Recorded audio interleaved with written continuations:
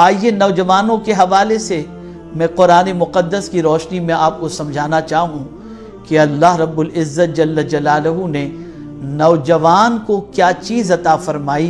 परवरदिगार जल्ल जलालहू इरशाद फरमाता है, अल्लाहुल्लज़ी खलक़कुम मिन दुअफ़िन अल्लाह ताला ही है जिसने तुम्हें इब्तदा में कमज़ोर पैदा किया।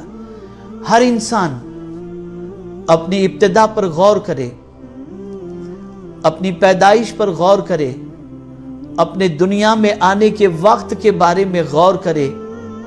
और दुनिया में जब वो आया था, उस वक्त उसकी सिचुएशन क्या थी, उसके बारे में गौर करने की कोशिश करे तो आप और हम जब गौर करेंगे तो कुरान मुक़दस के फार्मूले के तौर पर उसके, उसकी रोशनी के अंदर अगर हम देखें तो यकीनन हमारी इब्तदा कमज़ोरी है। हम जब इस फर्श गीती पर पैदा हुए तो हमारा हाल ये था इतने कमज़ोर कि कोई उठाए तो उठ जाएँ, कोई बिठाए तो बैठ जाएँ, कोई लेटाए तो लेट जाएँ, कोई खिलाए तो खा लें कोई पहनाए तो पहन लें इतने कमज़ोर कि हमारा वजूद हाथ पैर आँख कान इन सारी चीज़ों के हमारे वजूद में होने के बावजूद भी हम उसका इस्तेमाल करने की ताकत नहीं रखते थे इतने कमज़ोर थे, इतने नातवा थे और हमारी इब्तदा इस तरीके से कमज़ोरी के साथ हुई।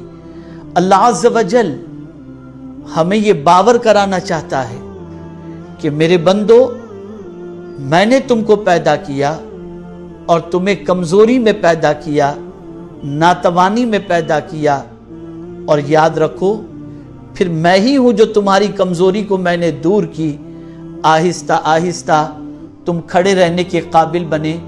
आहिस्ता आहिस्ता, तुम चलने के काबिल बने। आहिस्ता आहिस्ता, खाने के काबिल बने।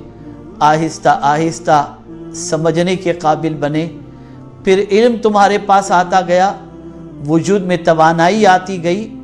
और फिर सिचुएशन ये हुई कि कल तक तुम चल नहीं सकते थे। अब दौड़ने की ताकत तुम्हारे अंदर पैदा हो गई। कल तक कोई चीज़ उठा नहीं सकते थे। आज मनोवजन उठाने की ताकत तुम्हारे अंदर पैदा हो गई। कल तक बोल नहीं सकते थे। अब तुम्हारी ज़बान को कुत गोयाई और ताकत अता कर दी गई। तुम्हारे वजूद को ये ताकत, ये तवानाई किसने अता फरमाई? तो मेरा मौला कुरान मुक़दस में इरशाद फरमाता है सुम मजालमिन कुव्वा।